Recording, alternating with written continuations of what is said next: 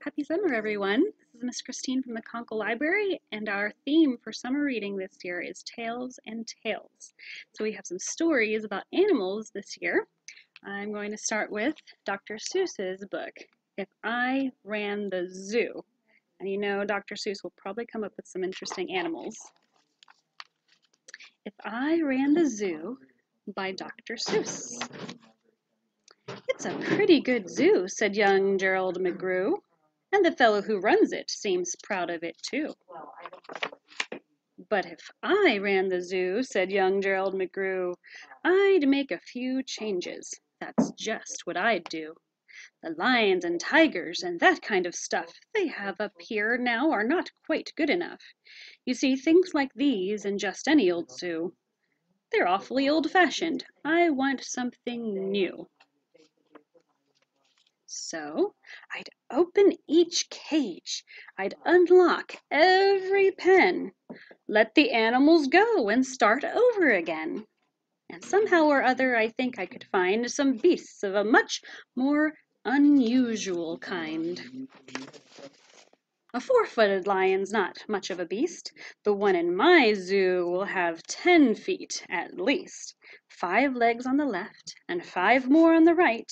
Then people will, stare. They'll say, what a sight! This zookeeper, new keeper Gerald's quite keen.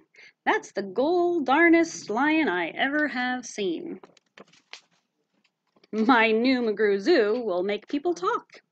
My new zoo, McGrew Zoo, will make people gawk at the strangest odd creatures they ever did walk. I'll get for my zoo a new sort of hen who roosts in another hen's topknot, and then another one roosts in the topknot of his, and another on his, and another on his, and so forth, and upward and onward. Gee whiz! But that's just a start. I'll do better than that. They'll see me next day in my zookeeper's hat, coming into my zoo with an elephant cat. They'll be so surprised they'll all swallow their gum. They'll ask, when they see my strange animals come, where do you suppose he gets things like that from? His animals all have some very odd faces. I'll bet he must hunt them in rather odd places. And that's what I'll do, said young Gerald McGrew. If you want to catch beasts you don't see every day, you have to go places quite out of the way. You have to go places no others can get to. You have to get cold and you have to get wet, too.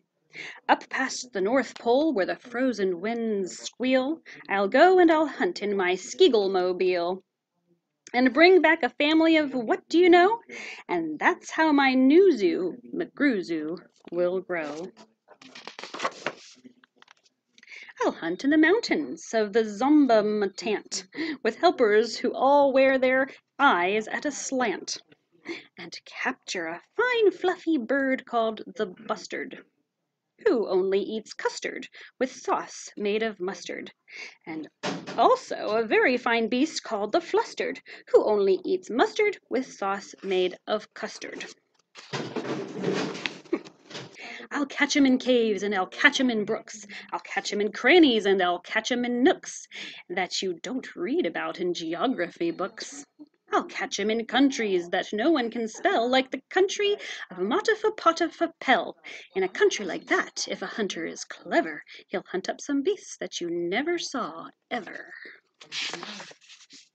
I'll load up five boats with a family of jotes, whose feet are like cows, but wear squirrel skin coats, and sit down like dogs, but have voices like goats, excepting they can't sing the very high notes. And then I'll go down to the wilds of Nantucket and capture a family of lunks in a bucket. Then people will say, now I liked that boy heaps. His new zoo, McGrew Zoo, is growing by leaps. He captures them wild and he captures them meek. He captures them slim and he captures them sleek. What do you suppose he will capture next week? I'll capture one tiny, I'll capture one cute, I'll capture a deer that no hunter would shoot, a deer that's so nice he could sleep in your bed, if it weren't for those horns that he has on his head. And speaking of horns that are just a bit queer, I'll bring back a very odd family of deer. A father, a mother, two sisters, a brother, whose horns are connected from one to another, whose horns are so mixed they can't tell them apart, can't tell where they end and can't tell where they start. Each deer's mighty puzzled, he's never yet found if his horns are hers or the other way around.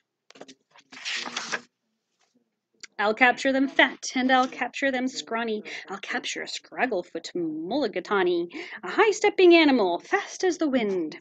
From the blistering sands of the desert of Zinde, this beast is the beast that the brave chieftains ride when they want to go fast to find some place to hide. A mulligatawny is fine for my zoo, and so as a chieftain, I'll bring one back too. If the far western part of the southeast North Dakota lives a very fine animal called the Iota. But I've captured one who is even much finer in the northeastern west part of South Carolina. When people see him, they will say, Now by thunder, this new zoo, McGrew is really a wonder. Most beasts are quite friendly, but still, in some lands, some beasts are too dangerous to catch with bare hands. For those that are ugly and vicious and mean, I'll build a bad animal catching machine. Ra- it's rather expensive to build such a kit, but with it a hunter can never get bit. A zoo should have bugs, so I'll capture a thwirl, whose legs are snarled up in a terrible snarl. And then I'll go out and I'll capture some chugs, some keen shooter, mean shooter, bean shooter bugs. I'll go to Africa's island of Yerka and bring back a tizzle-topped tufted mazurka. A kind of canary with quite a tall throat. His neck is so long if he swallows an oat for breakfast the first day of April, they say, it has to go down such a very long way that it gets in his stomach the 15th of May.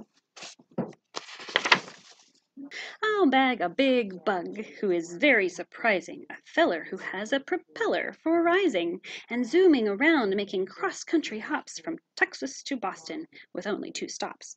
Now that sort of thing for a bug is just tops. And when I've caught him, then the next thing you know, I'll go and I'll capture a wild tic-tac-toe with X's that win, with zeros that lose. He'll look mighty good in this zoo of McGrews. I'll bring back a gusset and a gherkin, a gasket, and also a gooch from the wilds of Nantasket. And eight Persian princes will carry the basket. But what their names are, I don't know, so don't ask it. In a cave in Khartoum live a beast called the Natch that no one other hunts. Hmm. Again. In a cave in Khartoum lives a beast called the Natch that no other hunter's been able to catch. He's hidden for years in his cave with a pout, and no one's been able to make him come out. But I'll coax him out with a wonderful meal that's cooked by my cooks in my cooker-mobile. He'll fix up a dish that is just to his taste, three chicken croquettes made of library paste, and then sprinkled with peanut shucks, pickled and spiced, then baked at 600 degrees and then iced. It's mighty hard cooking to cook up such feasts, but that's how the new zoo, McGrew Zoo, gets beasts. I'll go to the faraway mountains of Tobsk near the river of Nopsk, and I'll bring back an Obsk. A sort of, kind of, a thingamabobsk, who only eats rhubarb and corn on the cobsk. Then people will flock to my zoo in a mobsk. McGrew, they will say, does a wonderful jobsk. He hunts with such vim and he hunts with such vigor. His new zoo, McGrew gets bigger and bigger.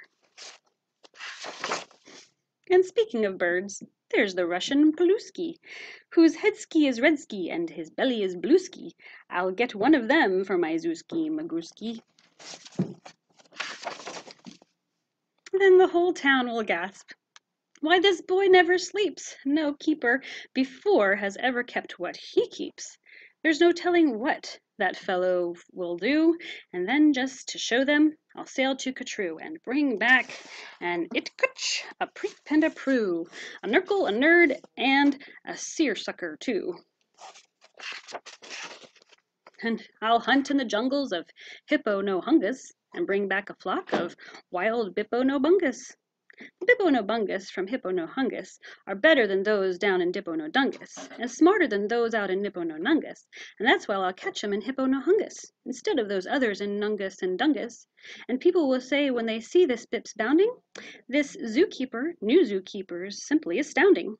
He travels so far that you'd think he would drop. When do you suppose this young fellow will stop?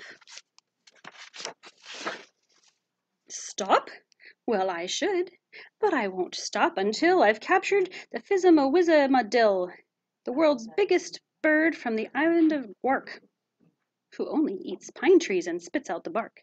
And boy, when I get him back home to my park, the whole world will say, young McGrew's made his mark.